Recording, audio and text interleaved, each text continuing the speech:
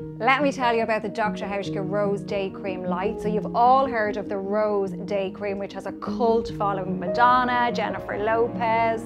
This one is a little bit lighter. It still has the abundance of the rose essential oil, the rose wax, also has the rose hydrosol, which gives it that lighter feeling. For slightly sensitive skin, you can also use it if you have a normal skin condition. So where there's a little bit of sensitivity on the cheeks, you see that redness, but it's not as dry as required for the heavier Rose Day Cream. Also, we have our Rose Day Cream lovers who switch to this in the summertime. You need a pea size amount. Remember, it's all organic botanicals in here and you have the beautiful scent of the rose essential oil. Eight to 10 weeks at last, Rose Day Cream Light.